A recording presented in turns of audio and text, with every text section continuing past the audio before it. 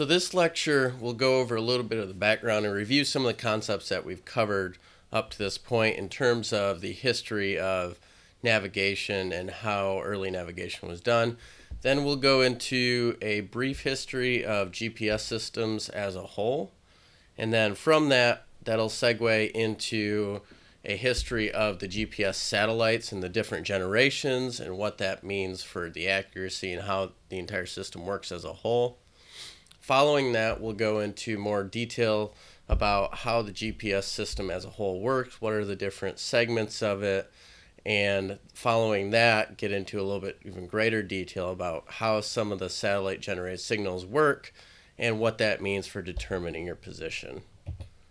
So, the first few slides of this lecture are meant to provide some brief background or review that may be useful for the lecture. So, Navigation requires the use of our senses, landmarks, and navigation aids. So, some historical navigation aids, such as the astrolabe, the sextant, and the clock, um, as well as the radio navigation aids, GNSS systems are space based systems largely, and GNSS stands for Global Navigation Satellite System or systems. So the U.S. version of GNSS is the Navstar positioning system. Uh, it's commonly referred to as GPS. Now there are other GNSS systems operated by other nations and organizations. Some of these that we'll cover later in the class are Galileo, which is actually run by the European Union. GLONASS is run by the Russians, and Beidou, also known as Compass, is run by the Chinese. And then QZSS is a quasi zenith system. It's more regional, similar to WAAS, which we'll get into later. But we'll cover those later. So the majority of what we'll focus on right now is the Navstar or the US program, also just known as G- GPS. So just remember that geodesy is the science and art of point positioning. So, in that there are three surfaces essential to geodesy. They are the ellipsoid, the geoid, and the true topographic surface or the Earth's surface. So, since the Earth isn't a perfect sphere, it's modeled commonly as a very simplified biaxial ellipsoid. This is also called an oblate spheroid, but for the purposes of this class, we'll ask you to just refer to it as a biaxial ellipsoid. Now, all this is saying is that it's flattened at the poles, so there's a semi-major and semi-minor axes. Remember, that these ellipsoids are mathematically smooth. They're very simplified surface of the Earth. A little bit more complex than that is the geoid, which remember is an equigravitational surface. It's a little bit more complex, a little bit more closely mirrors Earth's true shape. It's also, the geoid is an approximation of global mean sea level. And then we have the true topographic surface, which is the most complex and toughest to model. So a horizontal datum is, remember, a biaxial ellipsoid that has a well-defined origin and axis of orientation. So in this class, and actually in general, the most common horizontal datum that you'll come across is WGS 84. WGS is World Geodetic System 84. It was developed in 1984. So it's a standard detailed model of Earth's gravitational irregularities. In other words, and it's it's an ellipsoid. Now there's some areas where the ellipsoid is above and some areas where it's below the geoid surface.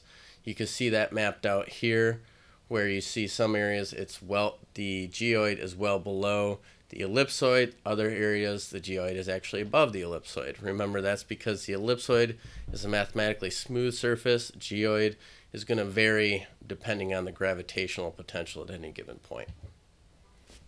Remember that latitude is actually an angular measure. So latitude is an angle reference to the equator, which runs from east to west around the Earth. Longitude is the angle reference to some meridian, and that meridian runs from north to south around the Earth. And then the height is actually a distance from some reference plane to the point being measured. Now, it's important to keep in mind that latitude and longitudes are both angular measures and that height is actually a distance measurement. A common coordinate system is UTM or Universal Transverse Mercator. So here's an example of a complete UTM location. Remember, you need all the information provided here in order to completely and accurately position yourself within the UTM grid and on the Earth. If you need more information about how to read this, I would refer you to the previous lecture, Lecture 2, which dealt with detailed information about how to read UTM coordinates. So, reminder now that we've covered horizontal datums, a vertical datum is a reference surface constituted of points with known heights either above or below mean sea level, and that's determined by a tidal gauge near the coast or the shape of the geoid away from the coast. So the originally accepted vertical datum was NGVD 29, composed of 26 benchmarks, derived in 1929, but it couldn't resolve local and regional differences in mean sea level, and it also couldn't account for any drift due to plate tectonics. Remember, that was updated in 1988 with NAVD 88, which stands for North American Vertical Datum of 1988, in which all elevations are given as the orthometric height relative to the local geoid surface or global mean sea level. So GPS units natively measure ellipsoidal height or ellipsoid height, and then they correct for geoid height to get the orthometric height. So the focus of this lecture will be to provide you with a fundamental understanding of how GNSS and GPS systems work. At the most simplified level, GPS is simply a constellation of satellites that orbit the Earth at approximately altitude of 20,200 kilometers, and these satellites transmit radio waves to receivers all across the planet. So, to give you an idea of where this lies in relation to other systems, airplanes tend to fly about 10 kilometers high. The shuttle orbits at about 370 kilometers in altitude. It's also important to note that there's no limit to the number of receivers that use this system because there's no signal sent back from the receivers to the satellite. So you may be wondering how we're able to have so many different systems up at a single time, orbiting the Earth at a single time without any collisions. Well, each GNSS or system operates at a very precise altitude, which is dictated by international space law. So this diagram shows that the orbit altitude of the US GPS system, also called Navstar, is different than that of the European Union system called Galileo, which is different than the Beidou 2, otherwise known as COMPASS system, which is a Chinese system, which is different than the GLONASS system, which is the Russian system. So what we'll cover is the US system. However, as you'll see, a lot of what we cover here is also transferable or similar, has similarities to other systems. So the first artificial satellite was called Sputnik 1, which was launched in 1959, transmitted a signal which was monitored by the Applied Physics Lab at Johns Hopkins University, and that signal exhibited a Doppler shift as a result of the relative satellite motion. Now, if the exact location of the satellite was known, then the observer, based on that Doppler shift, could be located on Earth. So the first prototype GPS satellite based on that was launched in 1958, known as the Transit System. So the Transit System reached full operational capability in 1964, and then the Timation satellite was launched by the Naval Research Lab, or NRL, to prove that we could we could place accurate clocks in space. So the GPS system that we know today was initially developed by the Department of Defense in the early 1970s. Now this system was developed as a military system designed to precisely target enemies. So it was initially developed as a defense navigation satellite system, but would eventually evolve into the USNO Navstar, or just Navstar for short, GPS system. Navstar stands for Navigation Satellite with Time and Ranging. So initially, this was restricted to military and government users. So it was opened up to civilian use and a broader market after a Korean Airlines flight 007 was straight into USSR prohibited airspace and was shot on 1983. So this system reached its initial operational capability, or IOC, in 1993, which consisted of 24 satellites. And then it reached its full operational cap- capability, which is FOC, in 1995. And that's actually greater than 24 satellites. So there were some satellites put up as backups. So the current constellation configuration is known as an expandable 24 configuration. This was implemented in 2011 and it actually consists of 27 satellites or more at any given point. So it's kind of a misnomer. It's called expandable 24, but it actually consists of 27 or more satellites. So now we're going to go into a brief discussion of the different GPS satellite generations. And there's a lot of information thrown in here take away how satellites have improved and generally what the different capabilities or capabilities that have been added to or removed to each satellite generation are. So the first satellite generation is known as a Block 1 satellites. Now these were primarily built for experimental purposes. They required ground support every 14 days to update position, so they were fairly manually intensive to monitor and to update. They were all taken out of service by 1995, and they were replaced actually by the Block 2 and 2A satellites. So there's 28 satellites that were launched between 1989 and 1997, and the big takeaway for the Block 2 and 2A satellites is that they require ground support every 180 days. Now, this is much, much longer than the 14 days from the Block 1 satellites, which means they're a little bit more autonomous. They're not as manually intensive. The other important thing to note with the Block 2 and 2A satellites is that they included a selective availability and anti spoofing technology. We'll cover what that is later in the course, but the biggest takeaway there is that was meant to limit the accessibility or the precision of accuracy that a general user could get versus a military or government authorized user. So the Block 2 and 2A satellites required me- less manual updating. They also were meant to last 7.5 years. Now, there's still some in service today, so they've vastly outgrown that lifespan. Now, there's the improvement from the Block 2 and 2A satellites is the Block 2R and 2RM satellites. There were 21 of these commissioned, one lost during failure once again, similar to the previous generation, they require ground contact approximately 180 days. However, they also contain 210 days of predicted satellite orbit. So, what that means is they can maintain that autonomous operation without ground contact at precisely 180 days. So, they were meant once again to last approximately seven and a half to eight and a half years and they're still in use today. So they've once again outgrown that, and they've continued to be operational at least to some degree. So the biggest improvement with this generation, though, is that it contains stronger antennas for both civilian and military signals. So you still have that selective availability and anti-spoofing technology there. The only difference is you have stronger antennas for the signals to be transmitted with. The next generation of improvement is the Block 2F satellites. And there were 33 satellites commissioned beginning in 2010, actually. And the biggest improvement with these is that they were meant to replace the Block 2R and 2RM and previous generation satellites. They have a longer lifespan and they have an even stronger autonomous position accuracy. So they're a little bit more autonomous, don't require as much updating. And then the modernized, first generation of modernized satellites is the GPS 3.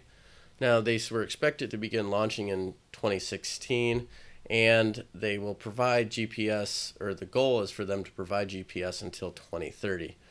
Now, the biggest improvement in the GPS 3 is that they're expected to have sub meter accuracy. Now, this is an incredible improvement over any of the previous generations and it all has to do with the accuracy of the clocks and the and the stronger antennas. So also important to know about the GPS-3, the modernized satellites, is that they're built without selective availability at all. So it's not possible, given the GPS-3 satellites, to intentionally manipulate the position of a given satellite and thereby throw off the air, throw off the positioning of a user. So the other addition or improvement, I should say, is that they had a 15 year lifespan. So they're built once again for a little bit longer. So the current constellation, as I said previously, is called Expandable 24. It actually consists of 27 or more satellites. Now, because the exact number of satellites operational within each generation is going to vary from time to time, I'm going to refer you to the external satellite generation slide, which has this updated information about how many satellites of each generation are still in operation or are still active today. So the biggest improvement, though, in terms of positioning, comes with the clock types.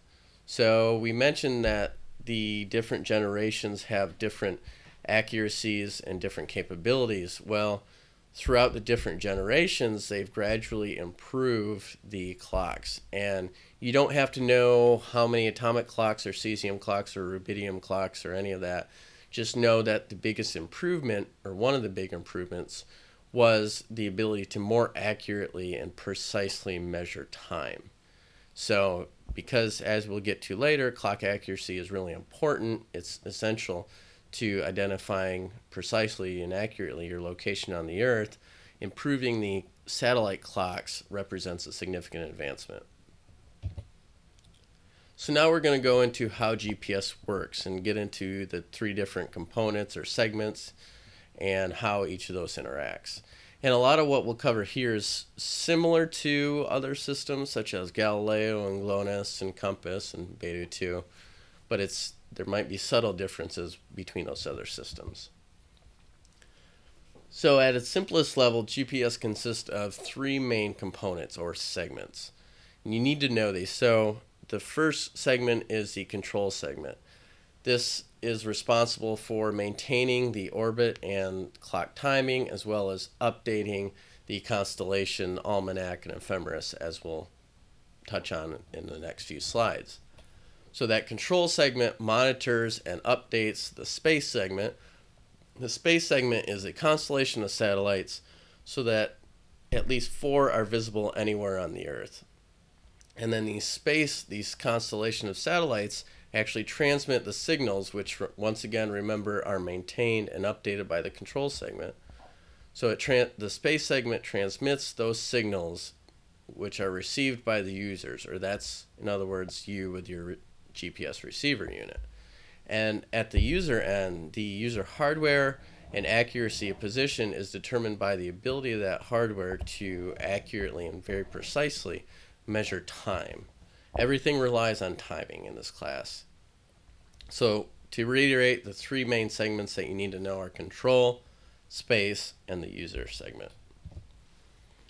So we'll start actually with the GPS space segment. So the space segment is once again an expandable 24 configuration, consists of a constellation of 27 or more satellites.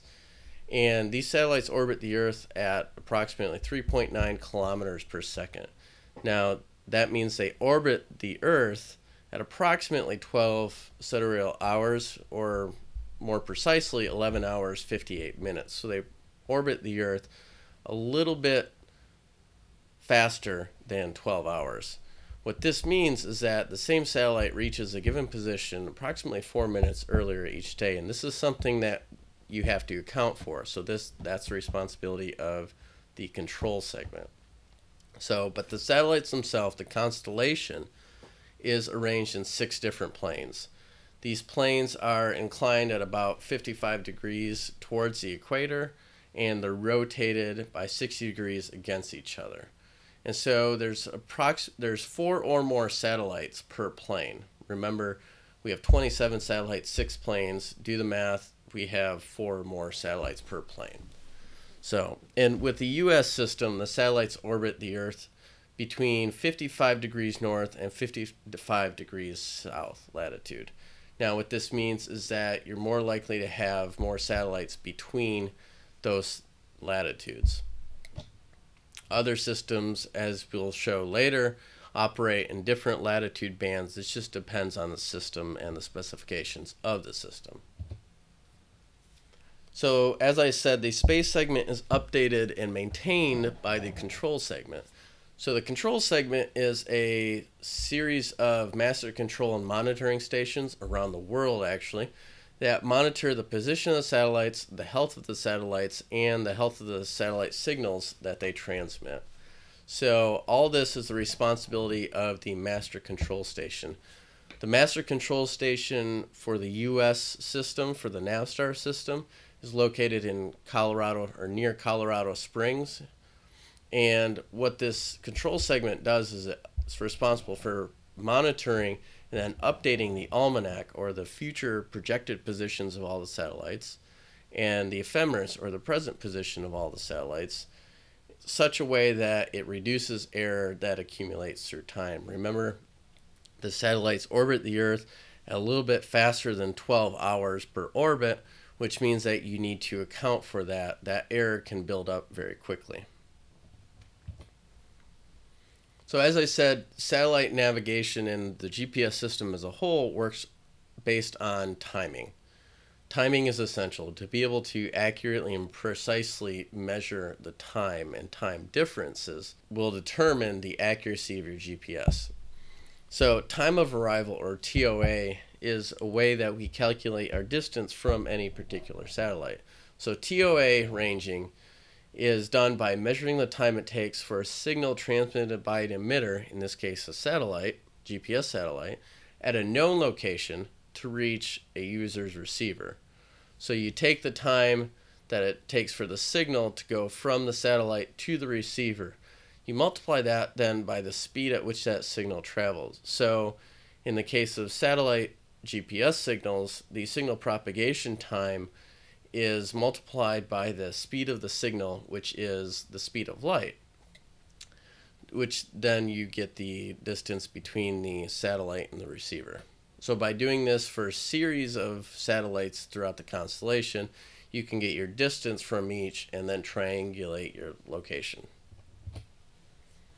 So if we take the example of a ship at sea, consider that you are lost at sea or you're a mariner trying to determine where you are relative to the rocky coast. So you don't want to run ashore to run ashore to run into a shoal or a rocky outcrop would spell disaster.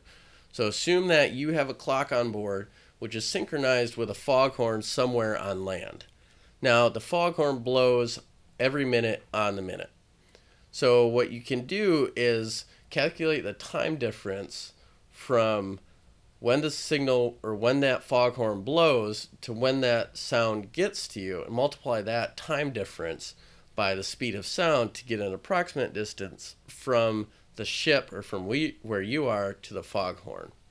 So if we take the example here and say it takes 15 seconds for that signal to go from the foghorn to you and multiply that by a velocity of 335 meters per second, we get a distance of approximately 5,025 meters. The problem with this is which way do you go? You just know that you're within some radius from that foghorn. You don't have any sense of direction yet.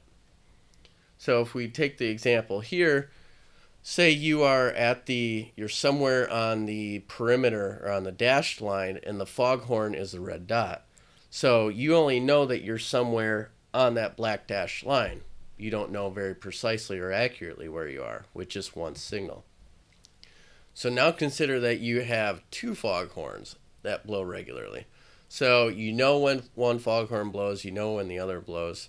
By repeating the process for both of those, now you're 15 seconds from the first foghorn and you're 5 seconds from the second foghorn. What that tells you in this instance is that you're one of two possible locations. So we're one of the two blue circles on the diagram here. So if we take the example here, looking, trying to ground it a little bit more in reality. So foghorn 1 is on land, foghorn 2 is located offshore. You know your propagation time, you know how fast that, that signal is transmitted. You can calculate your position to one of two locations. But still, it's important to know which of these locations you're at You could be at one and be really close to a rocky outcrop. You could be at or a sandy shoal, or you could be at another and be in some safer waters. So which one you're at really matters, and you're only going to get that by adding a third signal transmitting location. So it's a third foghorn in this case. So if you have a third one, you eliminate one of those two options and more accurately and precisely determine your position relative to those three foghorns. So the previous example assumed that the vessel's clock or your clock was very precisely and accurately synchronized with a foghorn's clock. However, this isn't always the case. So if your ship's clock is off by even one second, then the ship has a positional error of approximately 335 meters. Now, that's from each foghorn. So it's important that you know very precisely what the time difference it is or how long it takes for that signal to propagate from the transmitter or from the foghorn to you, the receiver.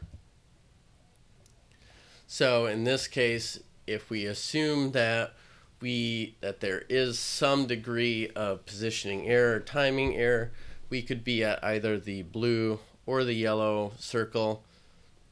And it, that's why it's important for us to know very precisely how accurate the clock is. So in reality, the time of arrival measurements wouldn't be perfect. Now there's a whole variety of different reasons for that. The atmosphere affects the satellite signal propagation. So changes in humidity, air pressure, even the ionic interference is going to affect that signal propagation. There's a foghorn clock offset, or in this case, or in the case of GPS, that's the satellite clock offset, which once again we have to account for. And then there's the time base for the clock for the foghorn. Now, there's also other interfering sounds, interfering signals that are being transmitted at the same time, and you need to be able to filter those out. And those also affect the propagation time. So instead of having a single point and an intersection, there's actually a triangular error space. So there's a possible area that you could be. Now we're going to get into a little bit more detail about the satellite generated signals themselves and what that means for your position. So based on the time of arrival for multiple satellites, you're able to determine your 3D position. So you're able to get a distance from each of the satellites and triangulate your location. Now, this assumes that the satellite locations or the ephemeris is very precisely known. As mentioned earlier, there's several things that can affect the ephemeris and the almanac of satellites, and we'll cover that a little bit more later. But once again, remember TOA, time of arrival, assumes that satellite positions are precisely known. So we said that satellite or radio signals travel at the speed of light, so 3 times 10 to the 8th meters per second. So the ranging signal is emitted by the satellite, which is timed by an accurate onboard clock. Now remember those clocks have improved over generations to be increasingly precise and accurate. So the user receiver also contains a clock that's synchronized to that same time system. So it's synchronized to the same time system as the onboard satellite clocks. So the timing information embedded in the satellite ranging signal enables the receiver to calculate when the signal left the satellite, which then you can calculate the time difference or the propagation time it takes for that satellite signal to go from the satellite to the receiver. So GPS satellites have very, very precise and accurate clocks that tell time to within 40 nanoseconds, and this is constantly improving this accuracy and precision. So to give you an idea what that means in terms of GPS, in terms of real world, if you have a mismatch between a satellite and a receiver clock by even one millionth of a second, so a very minuscule, very, very small time measurement, you get an error, a positioning error of 120 meters. So it's important that you can very, very precisely estimate or calculate the time it takes for that signal to, to propagate. Now you match up and you calculate the time difference based on a pseudo random noise code or a PRN code. So the receiver and the satellite, because they're synced to the same time system, generate the same PRN code at exactly the same time. Now, what this does is it allows the receiver to calculate the time difference from when the code was transmitted by the satellite to when the code arrives to the receiver. This time difference is compared to the same code generated by the receiver, which is why you're able to calculate that time difference. So here's a graphical representation of it. So the result of the propagation time multiplied by the speed of light, or the, the speed at which that signal transmitting, yields that satellite to user range. So in this case, the user would be located somewhere on the surface of a sphere around the satellite. Now that could be any direction. There's no indication of direction using a single satellite. So this is a 3D representation of it or a pseudo 3D representation where based on that time difference or that propagation time in the product of that multiplied by the speed of the signal, you can get your distance in, on some sphere relative to that satellite. Now, with two satellites, the user can be located somewhere on the perimeter of where the spheres overlap. So just where the two spheres touch. So you calculate the time difference from one satellite to your location and the time difference from another satellite to your location, and you can narrow your location down to some perimeter where those two spheres overlap. So in other words, this is the outer edges of the plane of intersection. So here's a 2D representation of it. It's more accurate to think of it in a 3D representation where you could be somewhere on that white line. Now, with three satellites, the user can be located at one of two points. Now, this is where all three spheres intersect. You may have you may be thinking about this in a traditional 2D environment, such as the version on the right here, where in two dimensions, yes, you eliminate your position down to one possible location. However, if you think about it in a 3D environment, you actually narrow your location down to two possible points. And this is where all three spheres intersect. So if we look at it in three dimensions, now that we add a third satellite here in blue, we can tell that we're at one of the two white dots. So there's one close or on the Earth's surface, and then there's one up above the Earth. However, which one are you at? Now, if you're on the surface of the Earth, you can automatically eliminate the upper point, and you must be at the lower point, or you must be at the point that more closely aligns with the geoid and ellipsoid. However, if your potential to be a spaceborne or airborne user, then you can be above or below that plane. Now, in that case, you need some additional or auxiliary information about where your location is. Now, that auxiliary information comes from a forced satellite, which is used to adjust for receiver clock error and used to calculate the correct receiver position. So, in other words, to sum it up, by adding that fourth receiver, you're able to eliminate one of your two possible points and more accurately and precisely determine which of those two you're at. So, a general rule of thumb now is that the more satellites you can pick up and receive the signals for, the greater accuracy your unit. Now, that also has some hardware limitations based on how accurately your, in, your GPS receiver can calculate and measure that time difference.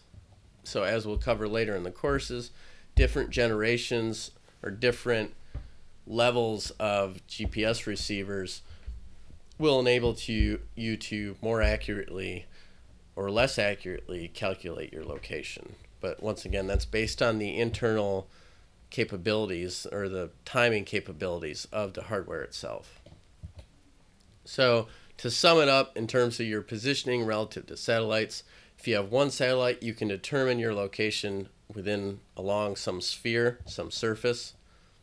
If you have two satellites, you limit that to some line where those two spheres intersect, some circular area.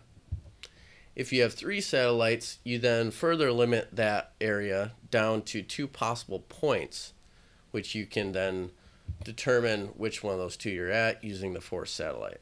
So it's important that you can pick up more satellites to improve your accuracy of your position. that does it for this lecture.